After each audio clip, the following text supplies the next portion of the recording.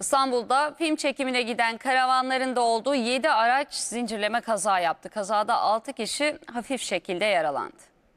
Küçükçekmece Tem otoyolunda film çekimine giden bir karavan henüz bilinmeyen bir nedenle yolda aniden durdu. Arkadan gelen karavanlar duramayınca bir kamyonete arkadan çarptı. Kazada 6 kişi yaralandı. Hastaneye kaldırılan yaralıların sağlık durumlarının iyi olduğu öğrenildi. playoffs.